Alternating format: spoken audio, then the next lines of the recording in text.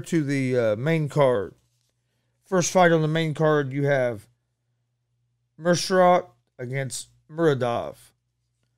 Uh, is a plus 440 under or underdog.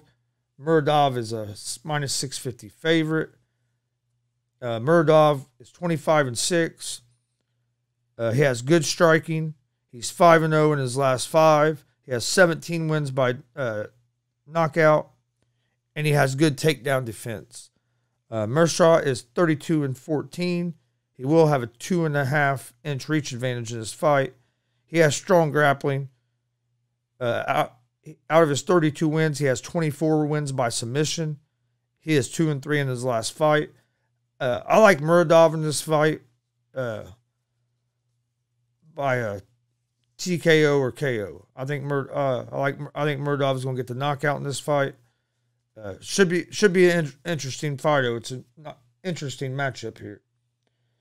Next fight on the main card, you have Andre Petroski against Michael Gillmore. Uh, Petroski is a five minus five ninety favorite. Gillmore is a plus four ten underdog. Uh, Petroski is five and one. Uh, he has three wins by uh, knockout or TKO. He is four and one in his last five fights. He has he's a powerful striker and he has good wrestling. Uh, Gillmore is six and three. He has three wins by uh, TKO or knockout. He will have a one inch reach advantage in this fight. He has decent wrestling and uh, good karate. He's four and one in his last five. I like Petroski here. I think his pressure will be will be uh, too much. And uh but like I said, he's at minus five ninety, so that's awful steep. So I'm not going I ain't gonna take him on the money line. Uh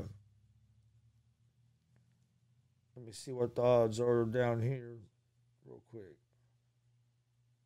Uh, I like the uh, what I li- like would recommend in this fight is you can get Andre. You can do if you do it on FanDuel, you can get the double chance, and you can get Andre Petroski to win by KO, TKO, or on points uh, at plus one twenty five.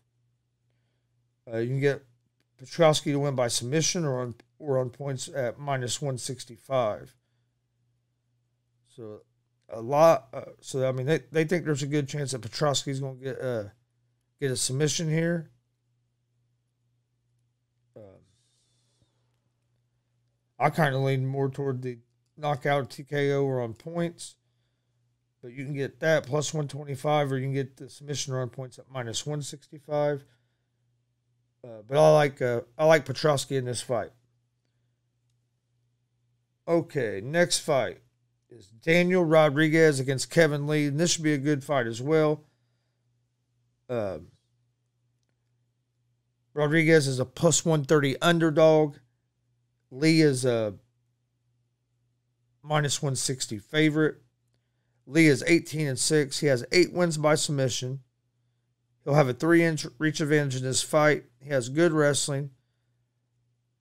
And he is two and three in his last five. Uh, he, he weighs 158 pounds. This fight's being fought at 170. So he's he's like an in between guy, in, in between weight classes. Uh, he usually fights down a weight class. Rodriguez is 15 and two. He's four and one in his last five. Uh, he's a good kickboxer. He has eight wins by knockout. Uh, he, he, weighs right at 170 pounds. Uh, he's a high volume guy. Uh, I like Rodriguez here at the plus 130. I think his pressure and volume uh, is going to overwhelm Rodriguez, or not, excuse me, Lee. Uh, I think Rodriguez's takedown defense is going to be good enough to keep this fight on the feet. So I like Rodriguez at the minus or at the plus 130 money line. This next fight's also going to be an interesting fight. This fight's for the uh, ba- the bantamweight TUF title. You have uh, Brady Heaston or Heiston against Ricky Turcios. Uh, Heiston's plus 138 underdog. Turcios is a minus 170 favorite. Uh, Turcios is a ten and two. He's three and two in his last five. He's a well balanced fighter. Uh, he's good in open space. Uh, Heston is uh, five and one, four and one in the last five. Uh, has good pressure, good wrestling. He's also a well balanced fighter. Uh, I think uh, Turcios experience and uh, his takedown defense is going is what's going to win him this fight. I think he's going to be able to get this fight to the ground and uh, put some ground and pound on Heiston. It's going to be an interesting fight. I lean toward uh, Turcios here, but I could see, I could also see Heiston win this fight. So this is a, a tricky fight to pick, but I like uh, Turcios on this fight at the minus 170 money line.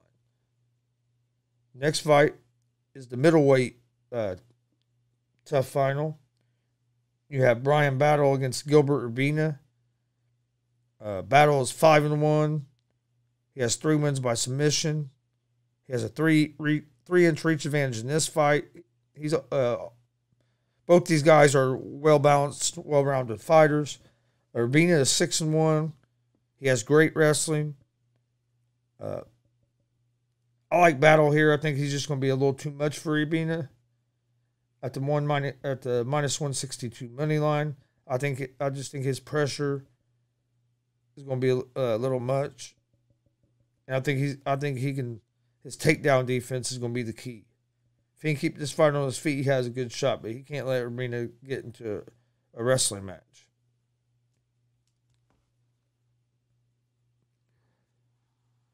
And then in the main event of the evening,